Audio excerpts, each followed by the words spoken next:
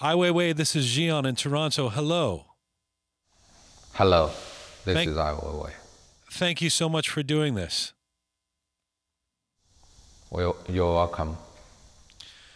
Weiwei, it's good to speak to you again. The last time we spoke, your your movements were restricted. You were still apparently under some kind of investigation by Chinese authorities. What is your situation now? Now they kind of leave me alone, but uh, they never uh, return my passport to me, and uh, they try not to talk to me. Even I make a phone call or or they, they never answer my phone call. D- do you still have to pretty much stay at home, or are you free to travel within within Beijing? I I I I can travel outside Beijing now, but uh, of course there's always secret police following in the airport or in the hotel. When when we talked last last year, you described feeling angry and frustrated about your situation. You said things felt very dark. Do you still feel that way? I think uh, as toward myself personally, it's getting uh, more freedom, um, but the whole situation in China is uh, still very messy and very confused. And and and how would you describe your daily life? What's a daily uh, a day like for you now? Uh, well, uh, every morning I wake up about seven, six or seven o'clock. I would uh, immediately get on internet, which uh, I cannot uh, use uh, China domestic internet, so I have to uh, so-called to climb over the Great Firewall and uh, get on Twitter, so I can see news or to talk to Twitter fans to discuss current situation. Then by nine o'clock, uh, my colleague would come. We would discuss about art shows or publication or documentary films. You know, we were trying to make and for many many years. And uh, in the afternoon, I would uh, to I would go to park with my son and uh, spend time with uh, him. By the evening, I, come back to the office and uh, get on internet again. That's my everyday schedule. In order to express yourself, you need a reason, and and the reason is to express yourself.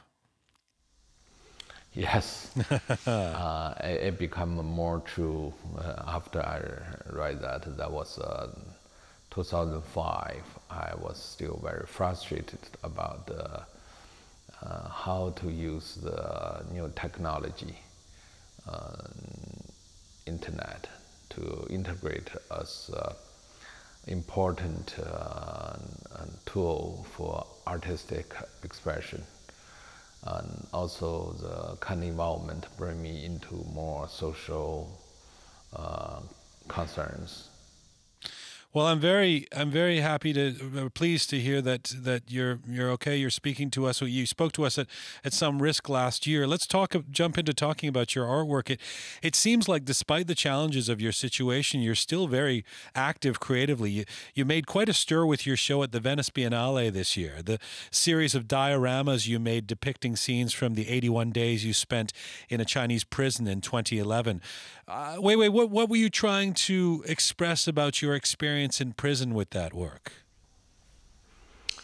Um, after I was released, so many people have a curiosity about my condition during that uh, that uh, kind of uh, detention, and uh, it's very hard to explain. So I looked through in the history in China China's history, very a few accountable. Um, images or writings about uh, the details of, of, the condition.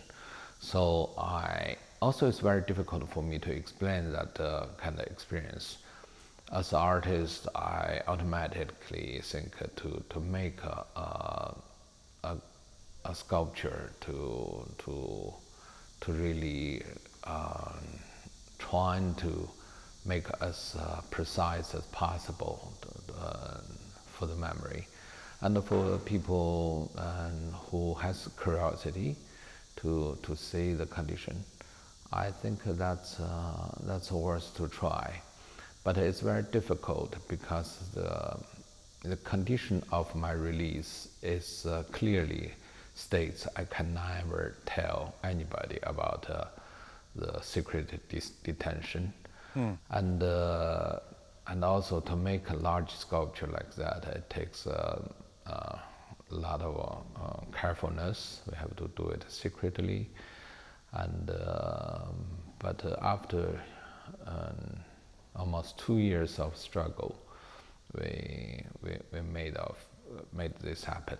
How much is is creating that kind of artwork about explaining what you went through, as you've just explained, and how much of it is about coping with the memories that may haunt you, some some sort of um, therapeutic or cathartic kind of release?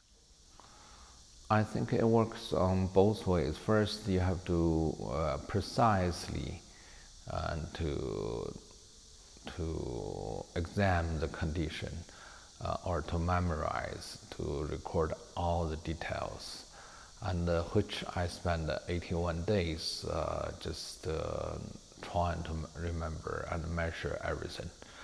And also, it takes a long time for anybody has been uh, mistreated or or has been put in a very difficult situation through a state judicial system and uh, to really overcome and to have this kind of therapy to to readjust their their understanding and their view about the world and uh, which is very difficult. I see many, many people uh, after their release, they can never really come back to normal life again uh, because this is just too dramatic uh, experience, which has nothing related to uh, ordinary life or our common sense or our logical judgment or our sense of right or wrong.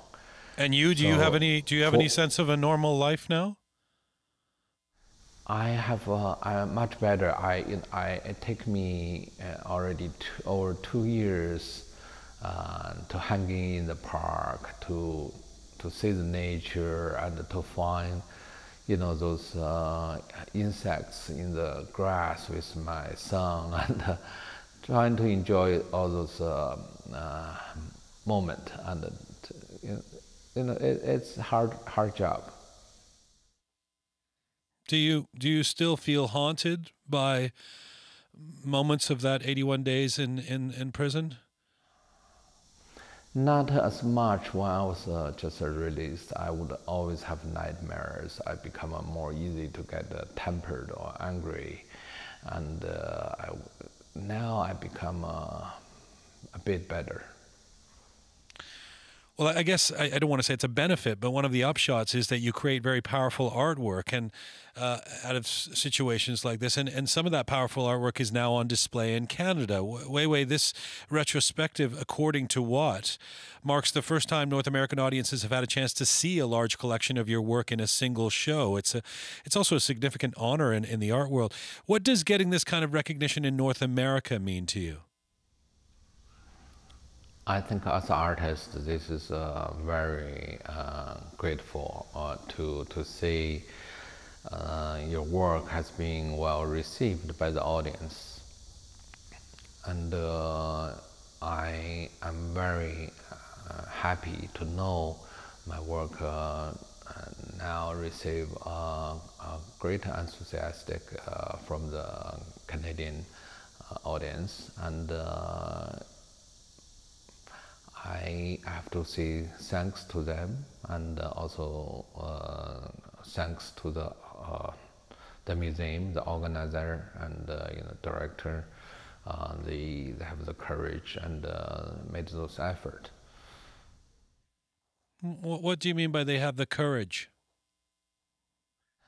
Well, we, we all see uh, in the Western uh, yeah, world or, or, or Europe or United States, and um, they have a, a more um, relationship with the Chinese government today than ever uh, because the economy, because of the, the business. Yes. I, I think uh, many culture uh, exchanges has been shattered by uh, those um, you know to those essential struggles and uh, many in many areas people tend not to mention to the supporting for the, those very basic values such as human rights, freedom of, freedom of speech.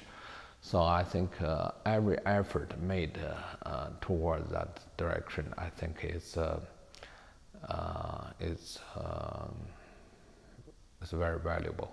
Are you suggesting that in some way, way, way that that just presenting your artwork, the exhibition, is a political act of sorts? I wouldn't say it's a political act, but I would say certainly it uh, it does uh, have a support for for the justice anywhere is to support uh, you know the, the justice and uh, uh, everywhere. Uh, I think that's from Martin Luther King's original thinking, and I think human today uh, are so connected and uh, all those values are shared uh, more than ever. So, you know, this is a, a, a total struggle. It's interesting to have this exhibition, which is it's quite stunning, and it's it's interesting to have it in North America because in a way, it's a return to a different home of yours. Uh, and I want to ask you about some of the work that's included in this retrospective uh, called "According to What." There are some photographs. Uh, speaking of a second home of yours, from the time you spent in New York City in the 1980s. Weiwei, how important was that time in your life in developing your art and philosophy? Uh, the time I spent in New York is, uh, I think, it's very important in my life. Uh, that was the time I just uh, uh, survived with my family through the Cultural Revolution, and that time China is like Northern Korea today. So I managed to escape and to spend 12 years in quite um, uh, free uh, style, you know, to stay and uh, to survive in this um, capital uh, of the, uh, you know, one of the capitals of Western culture. And uh, certainly, you know, the, the kind of values or, or, or, or kind of struggle or argument and all those around uh, related to culture, politics, uh, affect my my my view. I think I'm very much influenced uh, by this uh, period of experience. Of course, you returned to China, and a lot of your work reflects on China. And this show, this exhibition, according to what, includes some of your best known works, including, on the one hand, a series of photos of you smashing Han Dynasty vases. On the other, for example, large sculptures that use traditional Chinese woodworking techniques. Do you see your work as breaking with Chinese tradition or continuing it? I think my work uh, are using uh, Chinese culture sometimes the polit political situation or current uh, conditions as ready-made, uh, which uh, give me a chance to rethink my position and to to make some kind of um, uh, announcement or, or, or some kind of new expression out of it, and uh, which dealings uh, where we come from and how, uh, what kind of frustration we have today. The show also includes photos from your series Study in Perspective. Uh, these are quite provocative. These photos show a close up of your middle finger in the foreground, effectively, you know, giving the finger to famous institutions and scenes of power like the White House, the Eiffel Tower, Tiananmen Square. Weiwei, how do you sum up the message of that series? Do you mean it as a rejection of all authority, all icons? No, I wouldn't say that. You know, we all have to live uh, under some kind of order or, or, or some kind of system and uh, but uh, nevertheless, the personal uh, intention or the attitude towards the power, such as political and and economical or culture power structures, which you know it shows my my at least shows my concerns or my attention. You know, I, I have to, uh, you know, as an individual, um, especially as an artist, as an individual, um, I always have to uh, think uh, my positions and, and to make a judgment and to, to question the authority. And uh, at the same time, of course, we we questioning our our life or our existence. You know, we are we we always part of this kind of argument. It's interesting because it's a it's an angry gesture to give something the finger. You know, the White House. But in a way, it also strikes me as, as quite impotent. I mean, it it doesn't it, it it's it's sort of passive in the sense that it's not going to actually change anything. Can you reflect on that? I think that shows an individual position toward any authority.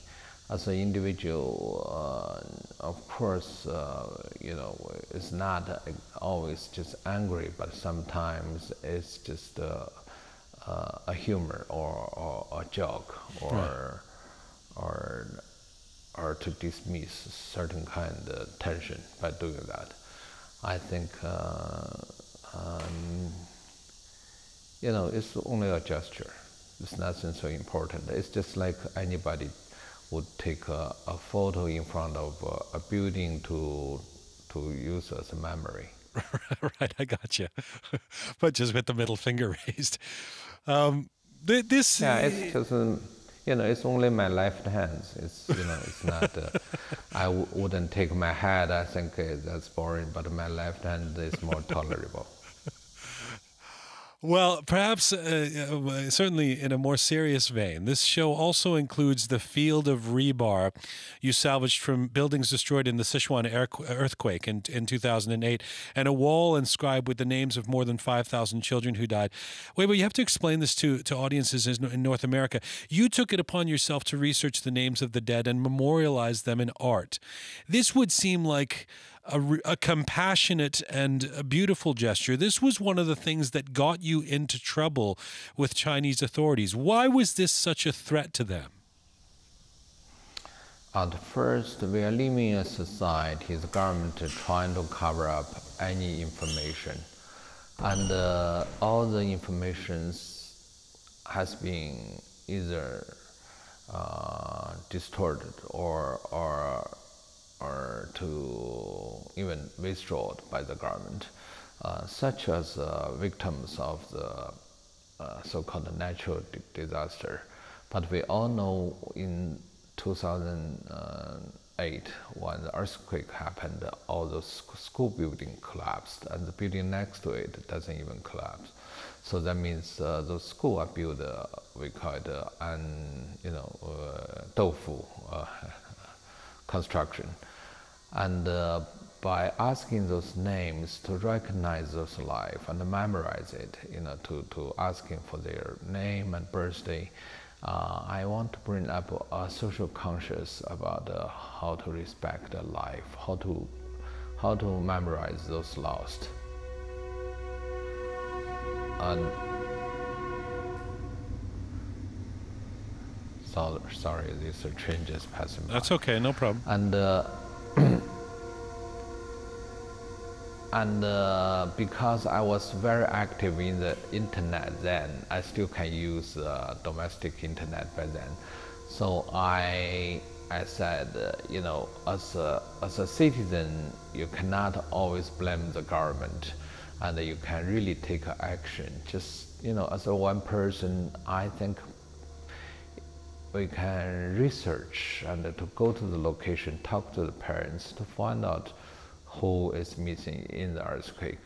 And uh, I got a lot of support from the uh, netizens. So we organized volunteers to go to the location, and uh, which is very difficult. Our team has been arrested over 40 times, and uh, then still we managed to find 5,000 names. It's kind of like miracle.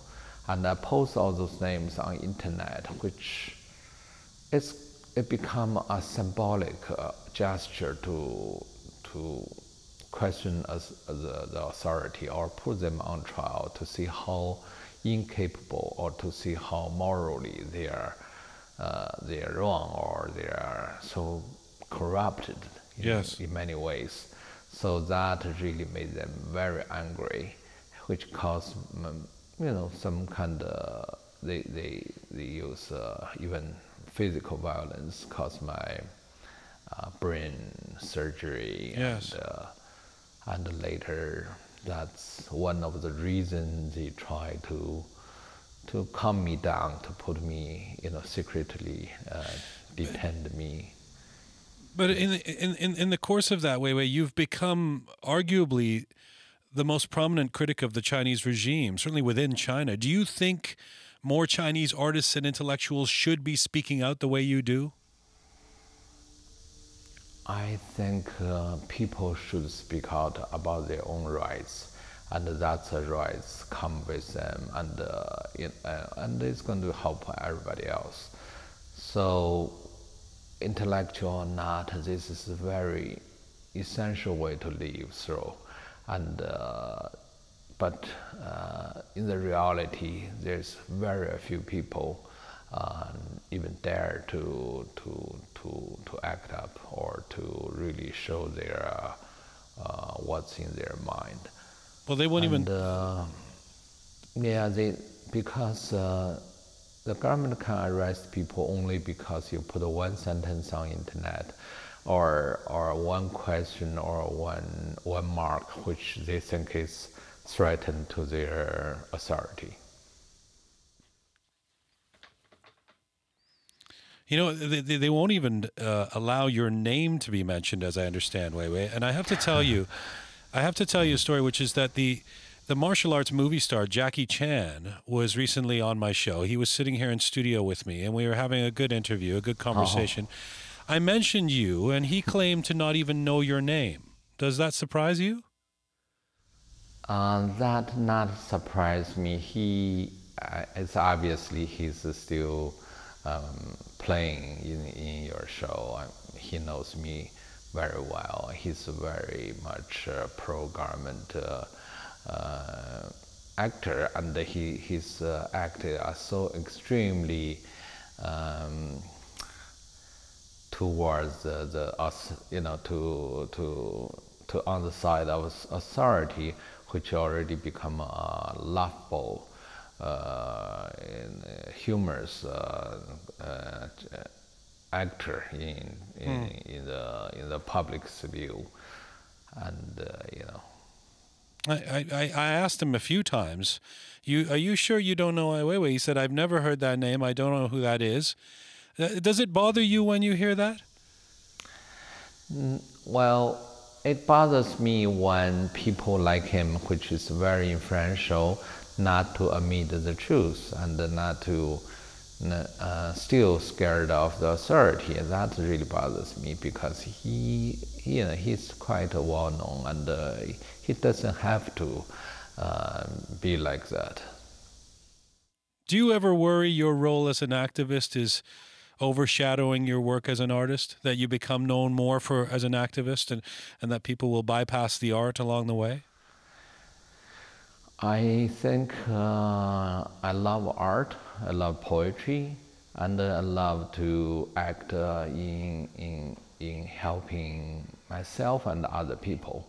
And uh, I wouldn't be so sorry if they don't call me artist. And uh, as long as I still uh, have ability to, to fight for justice. You've paid a great personal price for your activism. You've been detained. You've been imprisoned. You, you had that surgery in, in your head after you were hit. Uh, there are other critics of the regime, like the Nobel Prize uh, Peace Prize winner Liu Xiaobo, for instance, who have, have been imprisoned for years. Why do you think the regime has allowed you to continue your work even with these restrictions? Every time when people ask me the same question, I I don't really know. I think uh, you know I'm a, a very lawful person and all what I did is my opinion, and uh, and that's a duty for artist to express his uh, true feelings. So if I have to uh, pay some kind of price, you know, I'm ready for it. And I think the authority knows, uh, you know, uh, it's very hard to deal in situation like this meaning that I mean, but why don't they just? I, I don't want them to do this, but why don't they just imprison you and take you away like they would with Liu Xiaobo? I think uh, I think even uh, the authorities they are not just one person; they are still a system. If they have to do this to me, they have to do this to millions of of the people. You know, when I was arrested, which is like like kind of earthquake for most people. It shook a lot of people's view, and many of them, because that they escaped, they they trying to immigrate uh, to the West because they, they lost this kind of trust. Mm-hmm. So for any kind of authority, even authority like uh, China, can be quite uh, uh brutal sometimes, but still they they don't want to be appeared uh, to be like uh, they're they're irrational or so you know I cannot speak for them but uh, I hope they they be more rational Weiwei, you do pay a price for this. What what if you never get your passport back and this is how you have to live for the rest of your life? Would you say it has been worth it?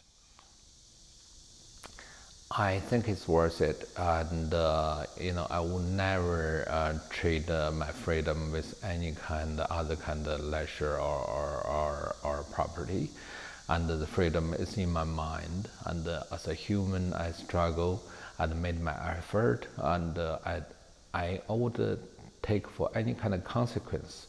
If I don't willing to take the consequence, I I think that kind of freedom is too cheap for me. And uh, I still remember when my father was exiled, uh, we were in much difficult situation, and my father would never know this cultural revolution would end. He tells us, you know, he, when he cleans the toilet, he said, I don't know who cleaned my toilet for past 60 years, and uh, why don't we just think we were born here? And, mm. you know, we, and our, our whole family supported him.